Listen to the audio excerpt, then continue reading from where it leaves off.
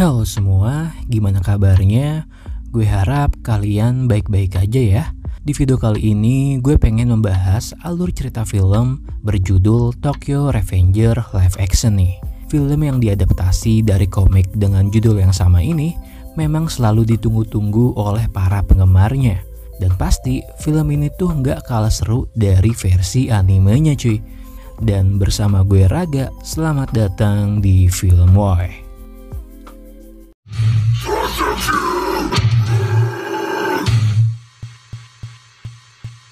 Film ini bermulai dengan langsung memperkenalkan karakter utama di film ini, seorang pemuda bernama Hanagaki Takemichi, yang mana dia tuh tinggal di sebuah kos-kosan yang jorok dan kumuh gitu. Sampai Takemichi aja rela makanin roti yang udah kadaluarsa nih. Di TV Takemichi pun melihat sebuah berita kecelakaan gitu, yang mana korban meninggal dari kecelakaan itu ternyata mantan pacarnya sewaktu dia SMA dulu yang bernama Tachibana Hinata. Dan satu korbannya lagi adalah adik Hinata yang bernama Tachibana Naoto. Sedangkan kecelakaan itu sendiri ternyata disebabkan karena adanya sebuah perselisihan antara geng Tokyo Manji dengan sebuah organisasi Yakuza. Nah, sepulang bekerja, saat lagi di stasiun, seketika aja ada seseorang yang mendorong Takemichi nih, sampai dia pun terjatuh ke rel kereta api. Dan sialnya, ternyata ada kereta api yang akan segera melintas.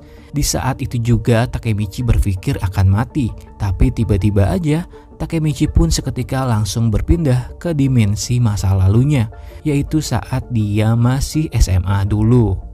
Saat tersadar, Takemichi pun merasa bingung dong, apalagi saat dia bertemu kembali dengan teman-temannya waktu masih zaman SMA nih, yaitu ada Akun, Yamagishi, Magoto, dan Takuya. Di saat Takemichi masih kebingungan dengan apa yang sebenarnya telah terjadi oleh dirinya, Akun malah mengatakan jika Takemichi harus bersiap karena sebentar lagi mereka akan melakukan perkelahian dengan anak kelas 2 SMA si Buya. Saat mereka sudah sampai, sialnya ternyata yang muncul malah anak kelas 3 SMA si Buya nih yang dipimpin oleh Kiyomasa yang mana ia merupakan anggota dari geng Tokyo Manji.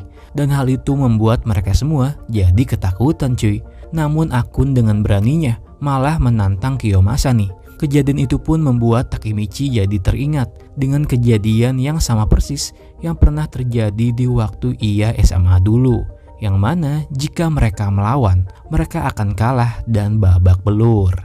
Dan benar saja, mereka semua pun malah habis dihajar oleh Kiyomasa. Selesai dari kejadian itu, Takemichi pun merasa marah dengan Tuhan karena kenapa dirinya harus mengulang kejadian yang sama persis dengan apa yang ia alami dulu. Takemichi pun juga mendatangi rumah Hinata nih, yang kaget dengan wajah Takemichi yang penuh luka-luka. Di sana, Hinata pun mencoba mengobati Takemichi, dan Hinata memberi semangat agar Takemichi harus tetap berjuang agar ia bisa tetap terus bersama Hinata di masa depan nanti.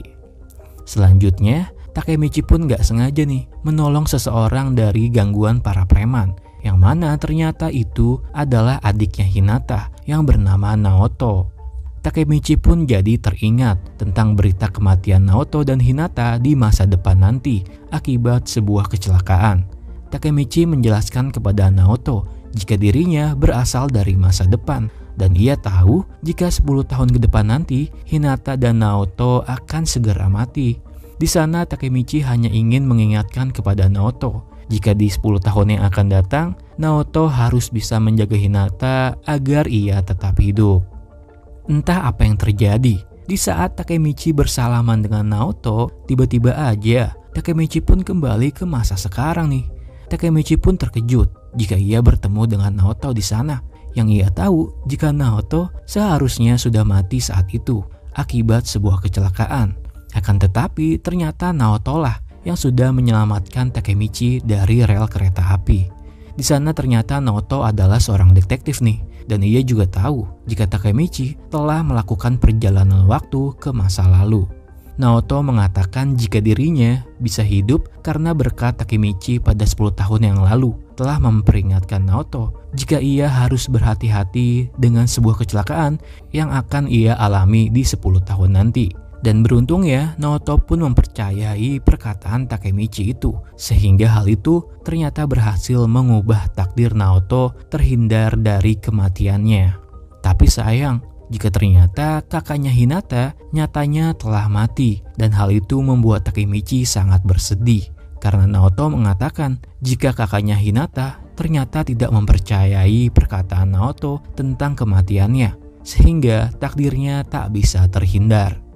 Dari kejadian itu, mereka berdua pun mulai mencari informasi tentang geng Tokyo Manji yang diketuai oleh Maiki dan wakilnya Kisaki yang menjadi penyebab utama kematian Hinata. Naoto pun meminta bantuan kepada Takemichi nih agar ia mau kembali ke masa lalu dan mencegah kematian Hinata dengan cara tidak mempertemukan Maiki dengan Kisaki di masa lalu. Karena Naoto merasa jika pertemuan mereka berdua lah yang menjadi penyebab kematian Hinata di masa depan. Dan karena Takemichi yang sangat mencintai Hinata, ia pun setuju dengan rencana tersebut. Saat Takemichi kembali ke masa lalu, ia pun berada di dalam sebuah perkelahian dengan para siswa nih, yang mana ternyata itu dipimpin oleh Kiyomasa.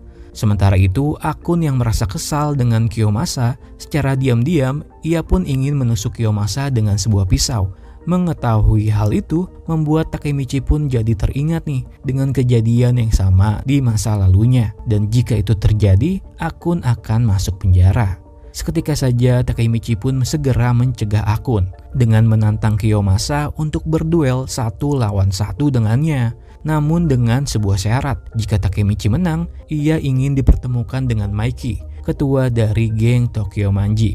Kiyomasa yang mendengar permintaan Takemichi itu pun marah, dan lalu ia pun menghajar Takemichi hingga babak belur cuy. Dan singkat cerita, di saat Kiyomasa ingin menghabisi Takemichi, seketika muncullah Maiki si penguasa Toman, ketua dari geng Tokyo Manji, dan juga wakilnya yaitu Draken yang sangat marah kepada Kiyomasa karena telah melakukan perkelahian siswa tanpa sepengetahuannya. Sementara Maiki yang melihat Takemichi sudah babak belur, ia pun ingin berkenalan dengan Takemichi nih. Dan Maiki mengatakan jika mulai saat ini, Maiki dan Takemichi akan menjalin pertemanan. Malamnya Takemichi dan Hinata pun berjalan-jalan untuk melihat festival kembang api.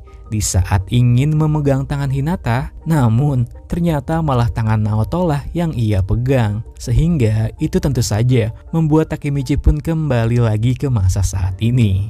Saat terbangun, Takemichi pun bercerita kepada Naoto jika di masa lalunya Takemichi sudah bertemu dengan Maiki. Namun sayang nih, ia masih belum bisa menemukan Kisaki Naoto pun ingin merubah rencananya. Ia menginginkan jika Takemichi sebaiknya membunuh Maiki saja di masa lalu. Karena dengan begitu, sudah jelas Maiki tidak akan pernah bertemu dengan Kisaki. Dan sudah pasti jika Hinata tidak akan mati di masa depan. Namun Takemichi pun sempat menolak untuk membunuh Maiki. Karena ia tahu jika Maiki adalah ketua dari geng Tokyo Manji.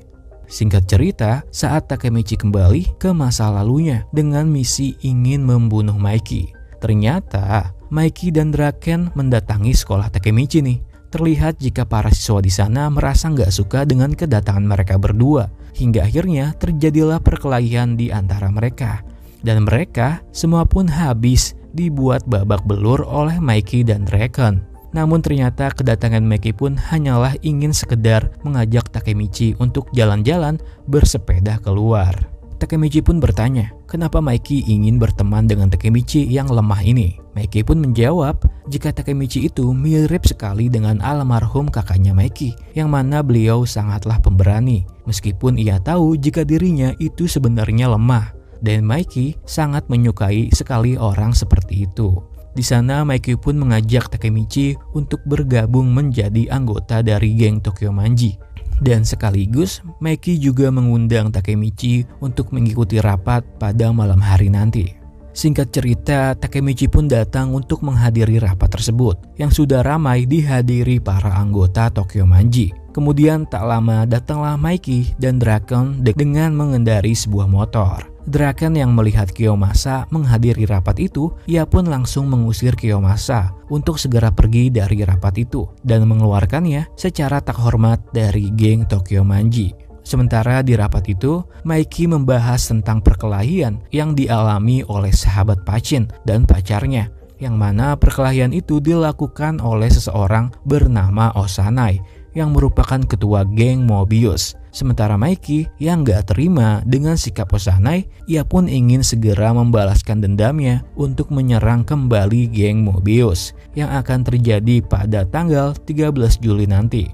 Dan lanjut cerita, ketika Takemichi kembali ke masa saat ini, mereka berdua pun mencari info tentang keberadaan Mikey saat itu. Namun, Takemichi pun malah terkejut jika yang ia lihat adalah sahabat SMA-nya dulu, yaitu Akun, yang ternyata ia telah bergabung dengan geng Tokyo Manji. Malamnya Takemichi pun akhirnya bisa bertemu kembali dengan Akun nih, yang ternyata Akun pun sudah lama menantikan pertemuan itu. Akun bercerita jika ia sudah mengetahui tentang perjalanan waktu yang dialami Takemichi ia juga mengaku jika sebenarnya dirinya lah yang telah mendorong Takemichi jatuh ke rel kereta api saat itu. Dan hal itu membuat Takemichi sangat-sangat terkejut. Akun bercerita nih, jika ia sudah nggak sanggup lagi menjadi budak untuk Kisaki. Dan ia juga berkata, jika sikap Maiki yang dulu sekarang menjadi berubah semenjak kematian Draken. Karena setelah kematian Draken, ternyata sosok Kisaki lah yang menjadi wakil Maiki. Aku memohon kepada Takemichi agar di masa lalu Takemichi bisa mengubah takdirnya. Dan lalu Akun pun memutuskan untuk bunuh diri. Keesokan harinya di masa saat ini, Takemichi pun meminta bantuan kepada Naoto untuk menyelidiki kasus penyebab kematian Draken di masa lalu. Karena nyatanya, sikap Mikey pun menjadi berubah semenjak kematian Draken karena jika seandainya Takemichi bisa mencegah kematian Draken di masa lalu, kemungkinan besar Draken masih hidup dan sikap Meiki tidak akan pernah berubah. Dan secara otomatis, kematian Hinata tidak akan pernah terjadi. Singkat cerita, Takemichi pun kembali lagi ke masa lalu, tepatnya hari di mana geng Tokyo Manji dan geng Mobius akan melakukan perkelahian. Takemichi merasa curiga nih, karena bisa jadi dari perkelahian itulah yang menjadi penyebab Draken akan mati. Dan Takemichi berencana untuk segera mencegah perkelahian tersebut agar tidak terjadi. Takemichi pun mengikuti Maiki dan Draken ke sebuah rumah sakit yang ternyata mereka berdua ingin menjenguk pacar sahabat Pacin yang sedang dirawat akibat ulah Osanai ketua Mobius. Seketika ayah dari anak itu pun keluar dan langsung memarahi mereka berdua. Mikey yang merasa nggak terima dimarahi, tiba-tiba Draken dengan sangat beraninya memaksa Mikey untuk membukukan badannya dan meminta maaf atas kejadian itu. Karena kejadian itu sudah seharusnya menjadi tanggung jawab mereka berdua. Melihat hal itu, Takemichi pun menjadi yakin nih jika ternyata Draken adalah sosok pria yang bisa menyadarkan ego Mikey. Singkat cerita, Takemichi pun memohon kepada Meiki agar perkelahian antara geng Tokomanji dan Mobius tak perlu terjadi, karena hal itu akan membunuh seseorang dari mereka. Namun sayang, Meiki mengatakan jika perkelahian itu nggak bisa dibatalkan karena ternyata geng Mobius sudah tiba di sana. Sementara itu Pacin yang ingin membalaskan dendamnya, ia pun menantang Osanai untuk duel satu lawan satu. Namun terlihat jika ternyata Pacin gak sebanding untuk melawan Osanai. Melihat Pacin yang sudah gak berdaya, giliran Maiki lah yang hanya cukup dengan satu kali tendangan saja. Ia pun langsung menghajar Osanai sampai jatuh gak berdaya. Namun di saat Maiki lengah, Osanai pun tersadar dan ingin menusuk Maiki dengan pecahan botol. Tapi beruntung nih, Takemichi pun melihatnya, sehingga Draken lah yang berhasil menyelamatkan Meiki dari kejadian itu. Tanpa pikir panjang lagi, Draken pun langsung menghajar Osanai tanpa ampun. Dari kejadian itu, Takemichi merasa jika sepertinya ia sudah berhasil mencegah Draken dari kematiannya. Keesokan harinya, di saat Takemichi sedang jalan-jalan bersama Hinata, ia pun gak sengaja melihat anggota Mobius nih. Lalu Takemichi diam-diam mengikuti mereka semua. Di sana Takemichi pun melihat Kiyomasa yang ternyata ia sudah bergabung menjadi anggota Mobius. Dan ternyata Kiyomasa berencana ingin membunuh Draken dengan sebuah pisau. Karena Kiyomasa ingin membalaskan dendamnya kepada Draken yang telah membuat dirinya dikeluarkan dari geng Tokyo Manji. Namun, sialnya, anggota Mobius pun melihat Takemichi yang sedang bersembunyi nih. Hingga itu membuat Takemichi pun dihajar oleh Kiyomasa. Sampai Takemichi pun diikat menggunakan lakban. Beruntung tak lama, Hinata pun datang menolong Takemichi nih. Takemichi yang merasa jika dirinya sangat lemah dan payah sampai ia sendiri nggak bisa melawan. Tapi Hinata mengatakan, meskipun Takemichi lemah, namun Takemichi selalu tetap berjuang untuk orang-orang yang ia cintai. Dan hal itulah yang membuat Hinata menyukai Takemichi. Sementara itu, di saat Mikey sedang menunggu kedatangan Draken di suatu tempat, ternyata Draken sendiri menunggu Mikey di tempat yang berbeda karena ternyata Draken telah dijebak oleh seseorang dari Mobius. Hingga akhirnya di saat Draken sendirian, Osanai pun muncul untuk menghabisi Draken. Sementara Mikey yang mulai menyadari jika sepertinya Draken telah dijebak, ia pun langsung pergi mencari Draken. Sementara itu, Draken yang terlihat sudah nggak sanggup nih melawan anggota Mobius sendirian. Gak lama, datanglah Mikey dengan bersama para anggota geng Tokyo Manji lainnya. Dan tanpa banyak basa-basi lagi, terjadilah pertempuran antara geng Tokyo Manji dan geng Mobius. Di saat perkelahian itu berlangsung, Takemichi pun gak sengaja melihat Kiyomasa yang secara diam-diam menusuk Draken dari belakang.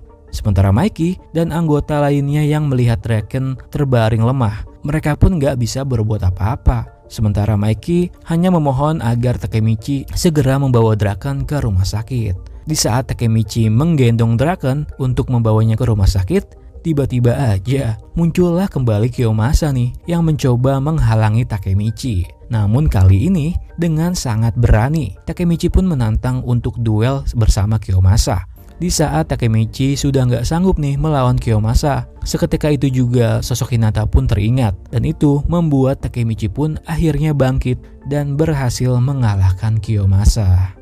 Dan lanjut cerita, setelah perkelahian itu usai, mereka semua pun berada di rumah sakit untuk melihat keadaan Draken. Di sana Meki mengatakan jika ia percaya jika Draken itu adalah pria yang kuat dan ia tak akan mati semudah itu. Karena Draken telah berjanji jika ia ingin tetap terus bersama Mikey.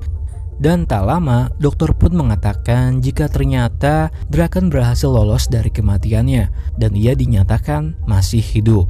Mendengar kabar itu, seketika mereka semua pun bahagia sekaligus terharu nih, terutama Mikey, yang mana ia sebenarnya sangat mengkhawatirkan keadaan Draken, sampai ia pun menangis. Dan di akhir film ini, di saat Takemichi telah berhasil merubah takdir karena akhirnya Draken masih hidup, Takemichi pun kembali ke masa saat ini dengan sangat bahagia. Dan terlihat jika di masa saat itu, akun pun ternyata masih hidup. Dan yang paling penting, ketika Takemichi mendatangi rumah Hinata, akhirnya Takemichi pun bisa melihat Hinata tersenyum karena Takemichi akhirnya berhasil merubah takdir menjadi kebahagiaan. Dan film ini pun selesai.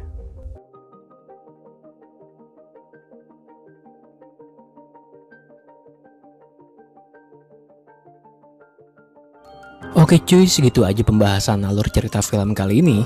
Kalau kalian suka, jangan lupa di like dan subscribe. Makasih juga yang udah nonton sampai habis, dan bye.